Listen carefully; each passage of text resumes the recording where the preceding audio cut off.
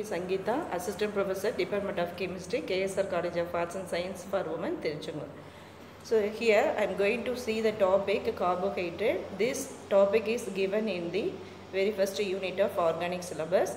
Uh, addition to that, the definition, classification of carbohydrate, structure and properties of glucose fructose, interconversion of glucose to fructose and fructose to glucose, and some basic terms like mutarotations, anomer, epimer, those are given in the first chapter of the first unit. In the second chapter, uh, some uh, disaccharides are given like uh, sucrose and maltose. In the third chapter, polysaccharides like uh, starch and uh, cellulose are given.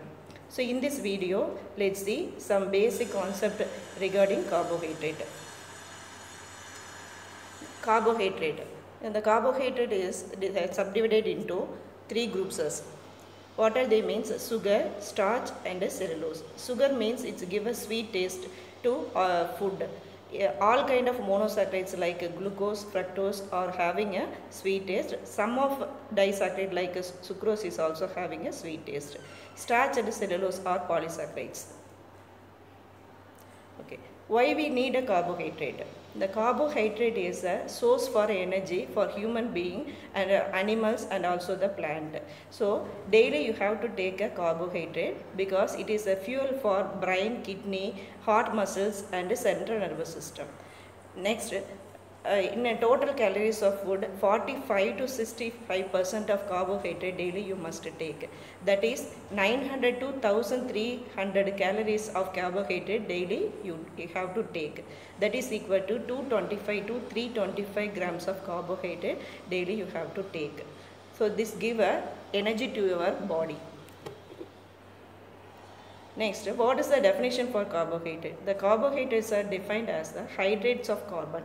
That means the carbohydrate is fully composed by the elements carbon, hydrogen and oxygen.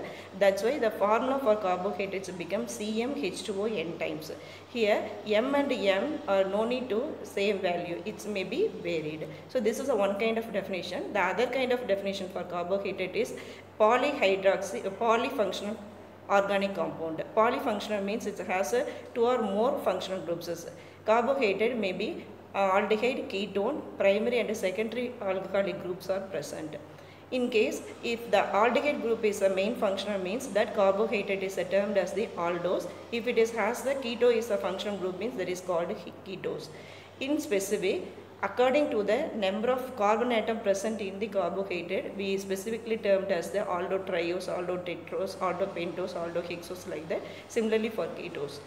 For example for aldotriose is glyceraldehyde the aldehyde is a functional group but it contains three carbon atom aldohexose example is glucose. Aldehyde is a functional group but uh, number of carbon is 6 like that way you have to classify it Next, is classification. The classification is based on the number of sugar unit exist in the carbohydrate. So, for example, monosaccharide. Monosaccharide means single sugar unit is present. The example for monosaccharide is glucose and fructose. Disaccharide means it contains two sugar unit. Example is sucrose, maltose and lactose. In sucrose, one sugar unit is uh, glucose and another one is the fructose. In maltose, two units are same glucose unit.